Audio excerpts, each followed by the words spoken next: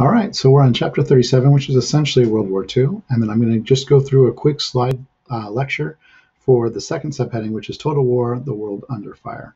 So um, up to this point, you know that Japan and Italy and Germany have been very aggressive. Now, the thing is, is that the Allies don't think that Germany is going to get too aggressive because they are caught. They could be in the middle of a two-front war. So what's going to end up happening is Hitler is going to make some very important strategic decisions that's going to enable him to create a big empire. He's almost going to take over all of Europe. So what's going to happen is he makes that non-aggression pact with Stalin.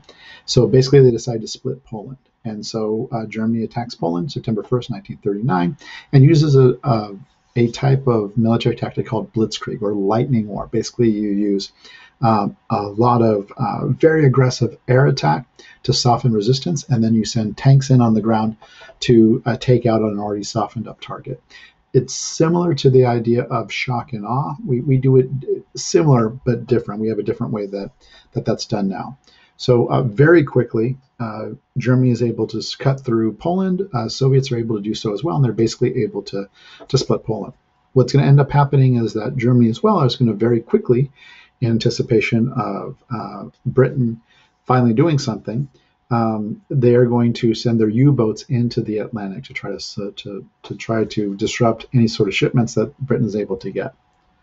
So with Poland and that kind of eastern front secure, not having to worry about the Soviets, Germany turns their attention to their western front.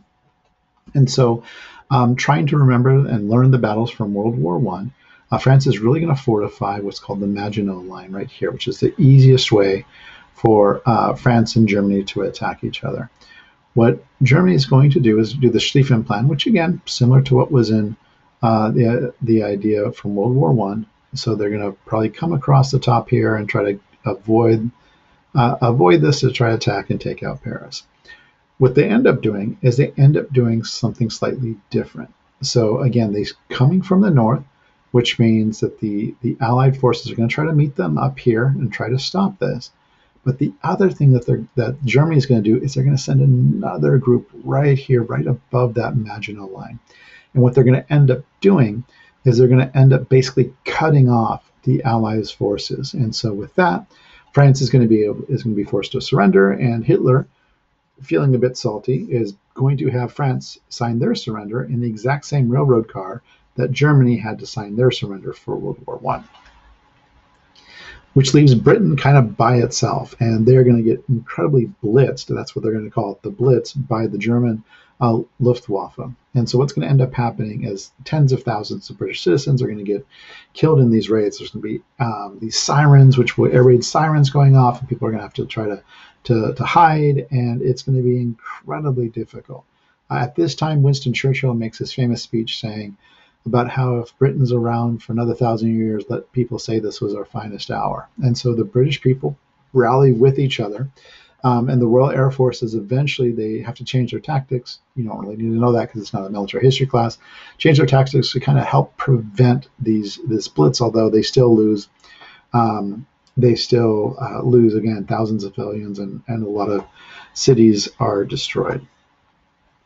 What's going to end up happening is is uh, eventually Germany kind of slows that up. Uh, because it's time to go back to their eastern front again. So they la- launched something called Operation Barbarossa, which is um, basically their quest to get more live-in space or Lebensraum.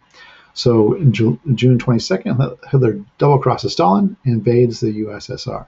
Uh, Stalin's really caught off guard, and he smartly, though, takes a lot of the industrial uh, might of Russia and moves it, moves it to the east into the Ural Mountains. So that's crucial. Once you don't have supplies, then uh, you can't mount any sort of defense. And so what's going to end up happening is um, is Germany, helped by uh, Romania and Hungary, are going to attack the Soviet Union, and they're going to be pretty successful.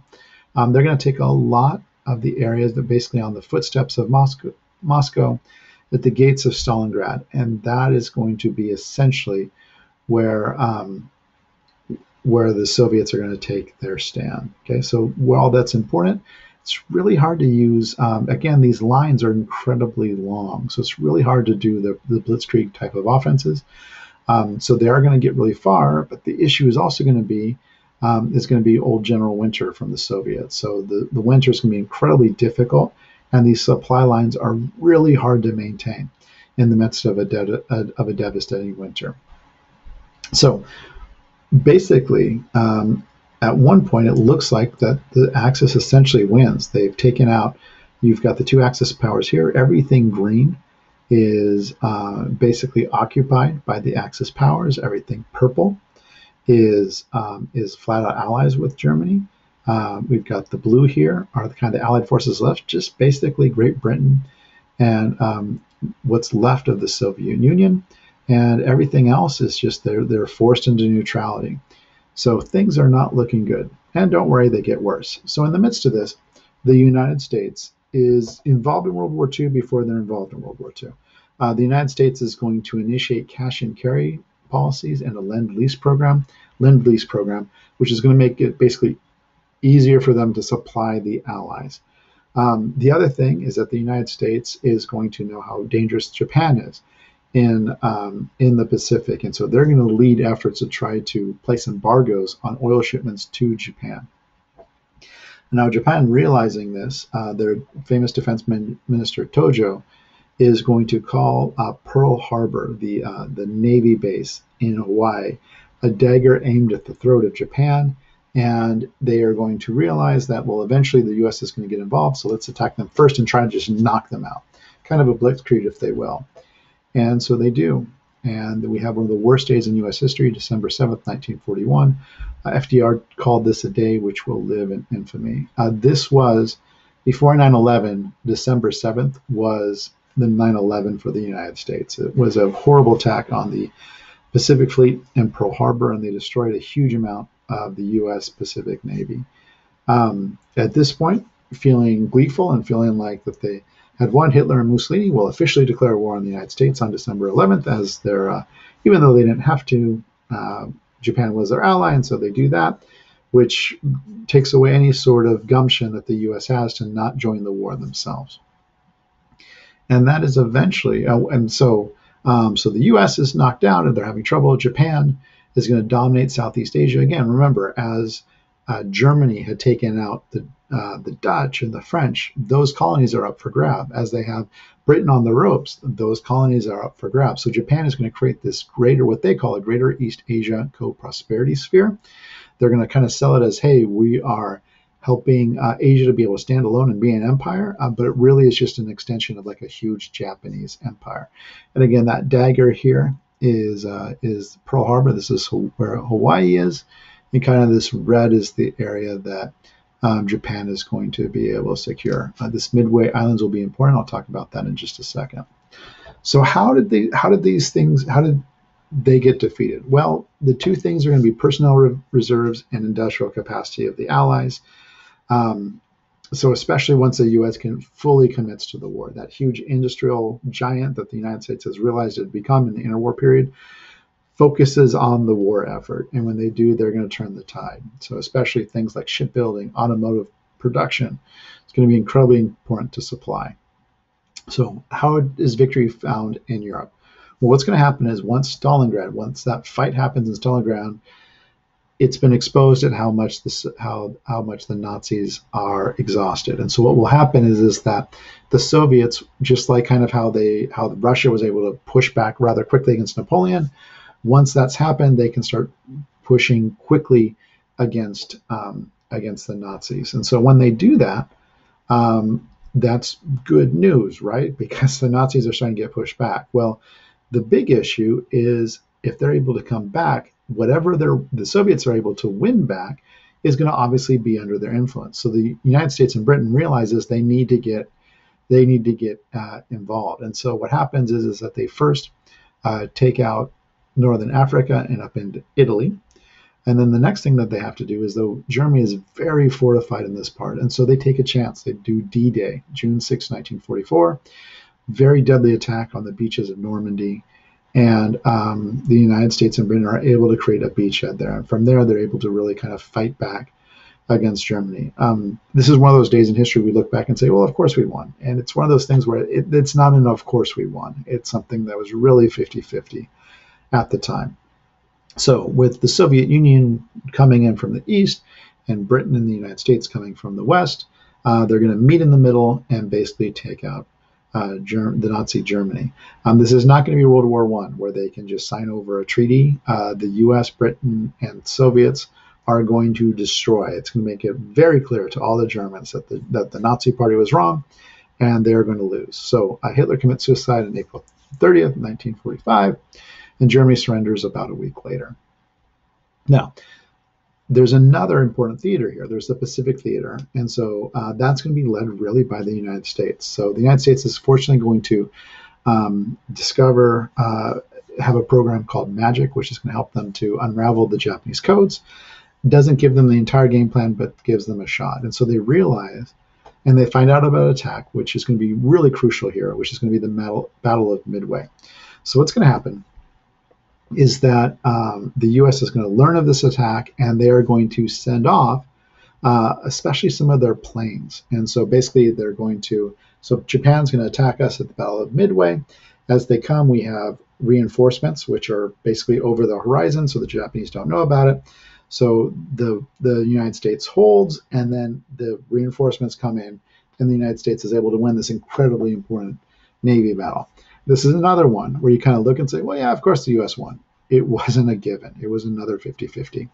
What ends up happening is the US now has this huge issue is they've got a very, um, very passionate foe that are going to fight to the death. Um, and so there's going to be no surrendering that's, that's going to be possible. So the Japanese, again, even going back into the Bushido codes, a lot of these soldiers are going to feel that it's not their life which is important, but the honor that goes with their life. And so they can't surrender.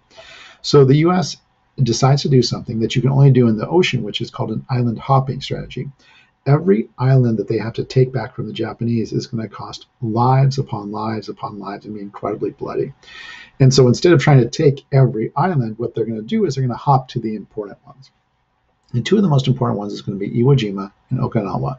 Iwo Jima is going to be is is those uh, is that very famous picture of the U.S. soldiers like bringing up the the uh, the flag and it's going to be incredibly bloody for the United States to get that island. Um, the other thing that's going to make things really difficult is the Japanese are going to start to use ko- uh, kamikaze suicide bombers. So jets, which are basically just have a pilot, are stockpiled with bombs, and those pilots are literally going to crash into U.S. Uh, destroyers and shipping aircraft carriers. Uh, this is very personal for me. Um, my grandfather was on one of those ships that got hit by a kamikaze pilot, and thankfully he was able to survive.